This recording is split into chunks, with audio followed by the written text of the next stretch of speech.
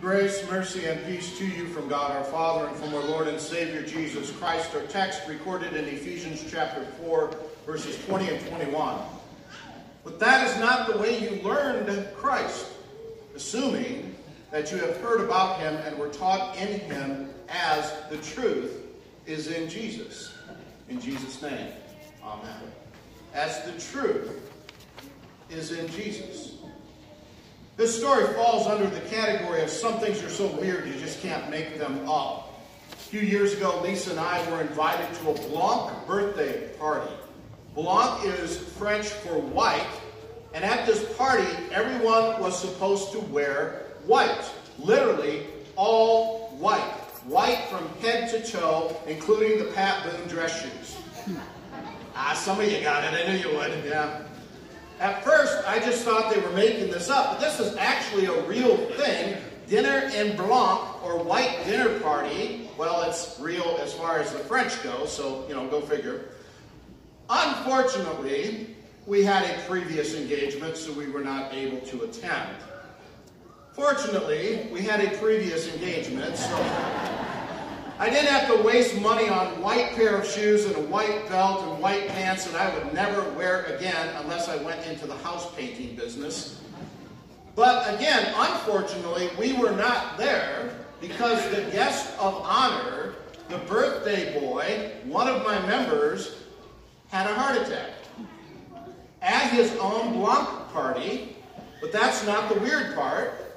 The weird part is when the local volunteer EMTs and firefighters showed up at the end of the country drive, greeted by a guest wearing all white. And then were led into a house party where all the guests were wearing all white, and then they checked on the respiration and pulse of a patient wearing all white before they loaded him into the white ambulance to take him to the ER. Okay? That weird. Now, that's a birthday party everybody's going to remember. And one that the birthday boy, who survived the heart attack quite well, by the way, lived to talk about. We just love to dress up and pretend we are someone else, don't we? Indeed. Did you know that the second retail holiday where the most money is spent, second only to Christmas, is Halloween? And it's not just the fake, plastic pumpkins and the bags of Reese's peanut butter cups for the kids. It's the costumes, especially the costumes for the adults, and the parties, especially the adult parties. I would love to be invited to a Halloween party for adults, but since I would simply put on my black shirt and black suit and pretend to be a Roman Catholic priest, I don't think I would win any prizes for the best costume. So the question is, as we begin the second half of Ephesians chapter 4, have we as Christians grown really, really good at pretending to be someone else? Ephesians 4, 17 through 19. Now this I say and testify in the Lord, that you must no longer walk as the Gentiles do in the futility of their minds. They are darkened in their understanding, alienated from the life of God because of the ignorance that is in them, due to the hardness of their heart. They have become callous and have given themselves up to sensuality, greedy to practice every kind of impurity. Now, come on, Pastor. Are people really as bad as the Bible seems to say that they are? Darkened in their understanding, alienated from God, filled with ignorance, hearts that are hard, indeed hearts that have become hard and callous and cold, submerged in sexual sensuality and impurity, greedy to practice sin and practice it more and more. Now, whether or not you believe Paul's description of human depravity to be accurate depends a great deal on how much human depravity you have personally experienced in your own life. And I mean that both ways. Both what others have done to you and perhaps what you have done unto others. the sins done unto you and the sins that have been done by everyone else. Be that as it may, it's, it's kind of easy here to miss Paul's point. What is life like without God? What is the mindset, attitude of those outside a relationship with God? Futile, pointless, meaningless. Indeed, one of the reasons for the rising immorality in our society today is the rising of faithlessness, the lack of faith in anyone greater than the self.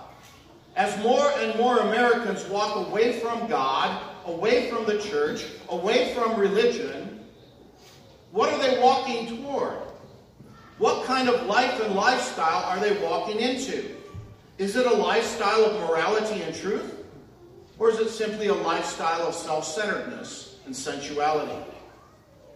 Pew Research recently did a survey asking a very basic question Where do Americans find meaning and purpose in life? Now, answer that question in your own mind right now. Where do you find meaning and purpose in life? And I find the results both heartening and disheartening at the same time. Of the nine top responses to the question, where do you find meaning? Spirituality and faith come in fourth. Right below money and career. Indeed, only 20% of Americans say that their faith life is where they find meaning and purpose. 23% find it in money, good old fashioned greed. 34% find it in their careers, workaholics that we are. Now, I don't really find that surprising, given the state of the Christian church in America today. The fact that only 20% of Americans find their primary purpose and meaning in life from their faith, in their local church, God's Word, is a lamp unto our feet and a light unto our path, but you gotta turn the light on, folks. And the light of God's Word, the truth of Jesus, is not what many people are finding at their local church. But what I do find heartening about this study, done just last November, last year, is that 69% of Americans look for meaning and purpose in one place Family. Family. Simply spending time with family. Indeed, those from the survey who placed faith and spirituality high also placed family as one of the primary ways of finding meaning and purpose in life. Christ centered, Bible based, what's next? Family focused. Family focused. And folks, what happens when those two merge? Our faith and our family. Both are strengthened. Both become foundations upon which to build. Both become a better reason to get out of bed in the morning than money, career, hobbies, even friendships. And it need not be faith or family, but a family that worships, a family that prays, a family that grows together in faith. Amen? Thus, Paul reminds us don't live like you've never met Christ. Don't walk like the Gentiles walk in the futility of their minds. For you are saints, one with Christ Jesus, one body, one family. Ephesians 4 20 through 21. But that is not the way you learn Christ, assuming that you have heard about him and were taught in him as the truth is in Jesus. Truth and Jesus. Today is Reformation Sunday. 502 years ago, a Roman Catholic priest named Martin Luther set out to reform the Christian church which had strayed from the truth of Jesus. Things today in the Christian church are not that far from where they were in Martin Luther's day. The church in Luther's day was teaching that God's grace wasn't enough.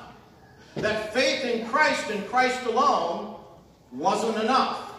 That man had to add to what Jesus had done on the cross. And that while Jesus' death on the cross would mostly pay the price of man's sin and sensuality and greed and alienation, well, it didn't quite do it all. Man had to put in their fair share through works of the law, paying for their forgiveness along the way. But what Martin Luther rediscovered was simply the truth. The truth about Jesus. What is that truth? What does Jesus mean when he says he is the truth? John 14, 6. Jesus said to Thomas, I am the way and the truth and the life. No one comes to the Father except through me. The truth is that there is no other way to get to God the Father no other way to get to heaven other than through Jesus. But it's also important to understand here that Jesus was not just simply saying that he spoke the truth or that the truth can be found in him, but that he is the truth. That the source of all truth is found in Christ, the Son of God. Later in his epistle, the Apostle John puts it like this, 1 John 5.20. And we know that the Son of God has come and has given us understanding so that we may know him who is true. Now, look at that carefully. Doesn't say know him who is the truth. It just says him who is true. And we in him who is true. In his Son, Jesus Christ. He is the true God and eternal life.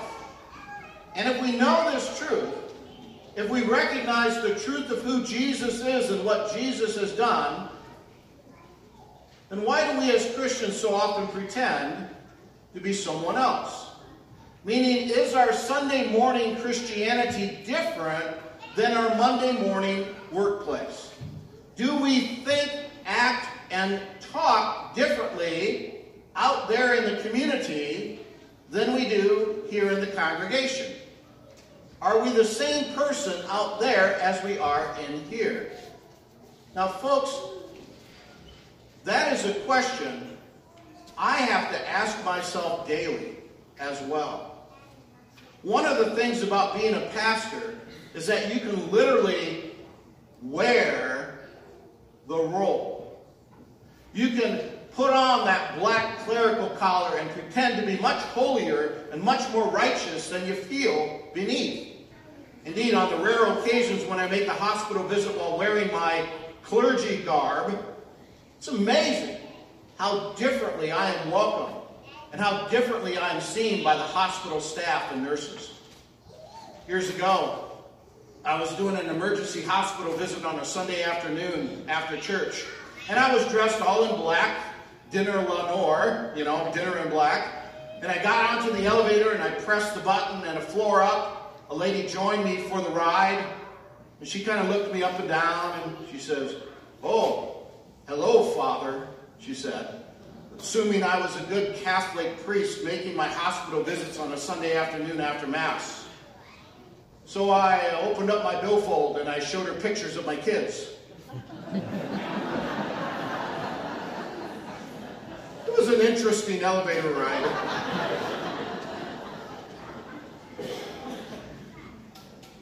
the truth. The truth of Jesus leads us to another truth. The truth of who we already are in Christ Jesus. The truth of who Jesus desires us to be when we walk out into the world. The Apostle Paul continues, Ephesians 4, 21 through 22. As the truth is in Jesus, to put off your old self, which belongs to your former way of life and is corrupt through deceitful desires and to be renewed in the spirit of your minds, and to put on the new self, created after the likeness of God, in true righteousness and holiness. Indeed, we as Christians are called to put on a new garment, a new outfit, a totally different Halloween costume, if you will, to put off our old self and to be clothed with this new self which looks a lot like Christ himself. Because that's what it is. Saints, called, chosen, predestined, forgiven, blessed, Rooted. Rooted in Christ. Rooted in truth. Rooted in the truth of what Christ has done for us and what Christ continues to do for us each day. To daily put to death our old self so that our new self, which is Jesus himself, can rise out of the ashes of our life and live out his life in us. Paul then finishes off this chapter in some very, very practical examples of how this is supposed to look, how this actually takes place in our Christian life. And most of it simply has to do with simply being the same person you are here on Sunday morning as on Monday morning. Ephesians 4:25 Therefore, having put away falsehood, let each one of you speak the truth with his neighbor, for we are members of one another. Loving one another enough to speak the truth, but to speak that truth in a loving way. Ephesians 4, 26 through 27. Be angry and do not sin. Do not let the sun go down on your anger and give no opportunity to the devil. What does that mean to not let the sun go down on your anger? To deal with our relational problems on a daily basis. To resolve conflict before it becomes unresolvable especially, I might add, in our families, in our marriages, the place where we find meaning and purpose. Ephesians 4:28, let the thief no longer steal, but rather let him labor, doing honest work with his hands, so that he may have something to share with everyone in need.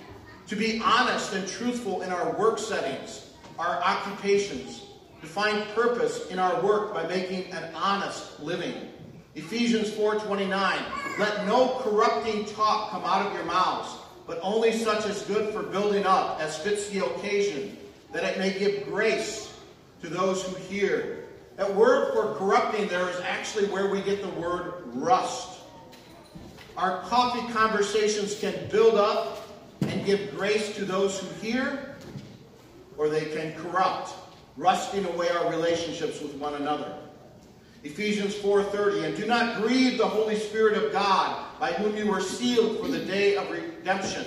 Once again, knowing that we are already children of God, that our place in eternity is already secure, not by the things that we do, not by the decisions that we make, not by the prayers that we pray, but by the grace of God. We now live as children of God, as a family of faith. And finally, Ephesians 4:31 through 32 let all bitterness and wrath and anger and clamor and slander be put away from you, along with all malice. Be kind to one another, tenderhearted, forgiving one another, as God in Christ forgave you.